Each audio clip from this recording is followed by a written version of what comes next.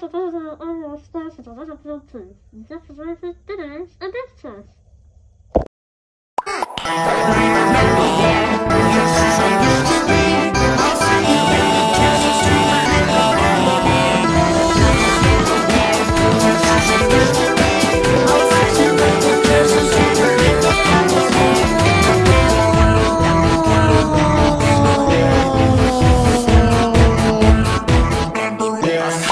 Yeah,